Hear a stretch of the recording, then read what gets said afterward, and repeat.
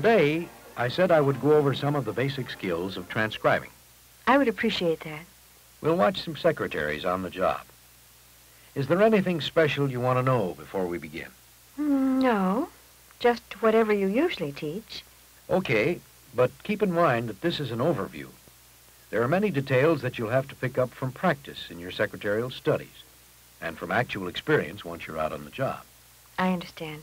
Fine.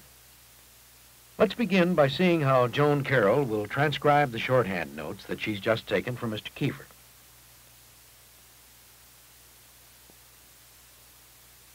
We'll follow her through each of the steps of this typical assignment. Notice how she organizes her materials You mean putting her shorthand notes next to the typewriter? and her letters close beside them. That's so she can refer to them both without waste motion. Rush items come first. They're noted on the right-hand side of the page, so they're easy to find. What does it say? Telegram. There's no address, but the number two will lead her to the letter she's answering. The letter is also marked two, and it has the address she needs.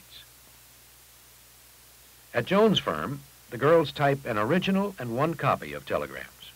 The original is for the correspondence file, and the copy for checking against the phone bill. After Joan types it, she'll show the telegram to Mr. Kiefer and then phone it in to Western Union. What comes next? Another rush item. A special delivery letter. For the address, she'll note the number six this time, which once again leads her to the letter she's answering. Joan checks her notes for special instructions for this letter. Special delivery, enclosure. Just one enclosure, and she has it. Now what?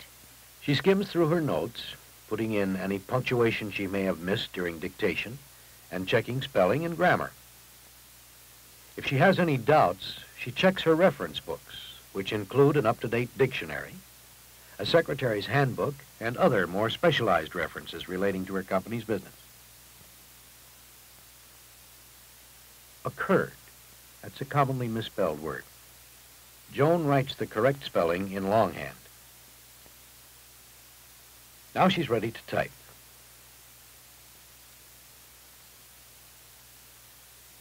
Her materials are organized so she can get the letterhead, carbon, and second copy in one motion.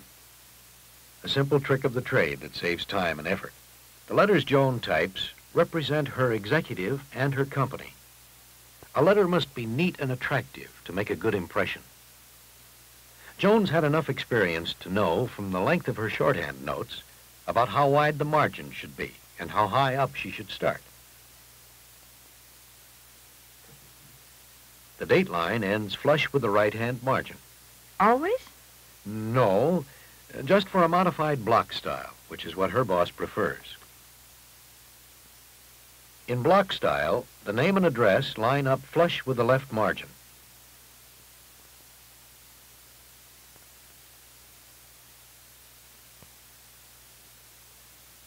Then the salutation. This is one of a number of acceptable formats. Some offices center the date at the top of the letter and leave out the punctuation after the salutation and after the close. This is called open punctuation.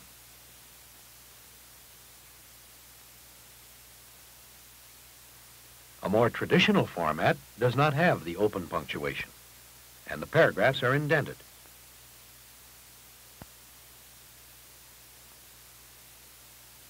Still another format, the full block style, has everything lined up with the left-hand margin, the date included. You follow whatever format your company prefers. She types fast, doesn't she? Her typing speed is good. Joan does about 50 words a minute when she transcribes from shorthand notes. That's about two-thirds of her regular typing speed of 75 words per minute. Many secretaries and stenographers transcribe at half their regular typing speed, which is considered good. Doesn't she ever make mistakes? Well, she tries not to. Errors can really reduce your speed. Suppose, instead of typing the line correctly this way, Joan makes a mistake. Like this. Now she must advance the roller and move the carriage to the side so erasure crumbs don't fall into the type basket. She puts an erasure guard between the original and the carbon paper so she doesn't smudge the carbon copy. Then she puts an erasure shield over the mistake so she can erase only the mistake and nothing else. She erases carefully, getting off all the ink but not tearing the paper.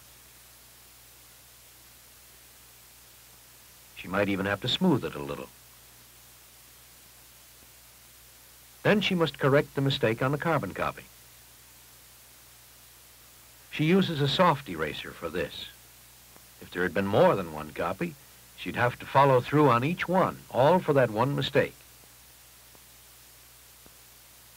Finally, she has to get her paper lined up again and go on.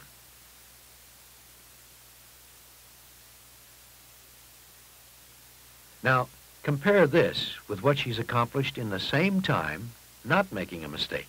Quite a difference. Yes, accuracy saves time. When Joan completes the letter, she proofreads it before taking it out of the typewriter. If there's a mistake, it's easier to correct it neatly while the letter is still in the machine.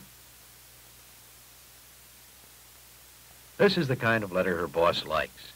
It's placed just right on the paper. Joan clips on the enclosure and checks it off on the file copy. Then she'll type the address on an envelope and mark it special delivery. She'll make sure that the address on the envelope is the same as on the letter.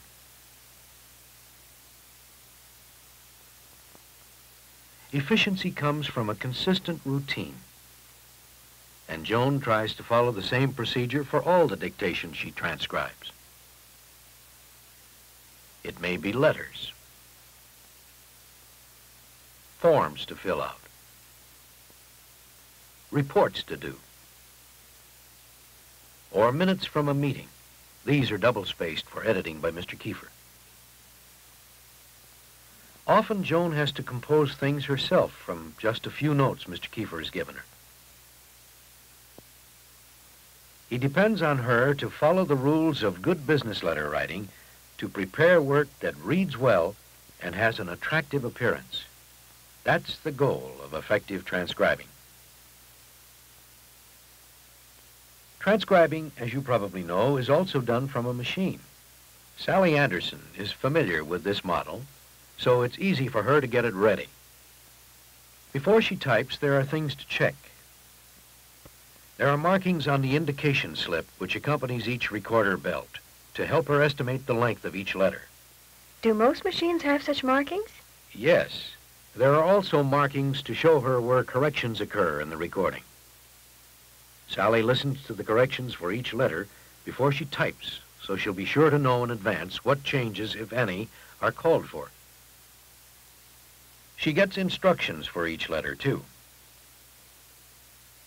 And she follows them, just as she would follow instructions in shorthand notes. The main difference is that she has to depend on her hearing instead of on her sight. As she listens, Sally types. Occasionally, she stops the transcribing machine to catch up with the dictation. Is she stopping it now? Yes, with a foot pedal. She repeats any dictation she's not absolutely sure of and corrects any obvious errors in grammar as she goes. Sally's learned to type steadily. This has come with practice. She can start and stop the transcribing machine without pausing in her typing. I suppose it takes a while to get used to the machine. Yes, and each machine is a little different. Otherwise, the procedures are much the same as in transcribing shorthand notes. I see. And that, I think, about covers the main points of transcribing. Well, thank you very much. You're welcome. I hope that this information will help you to become a competent secretary.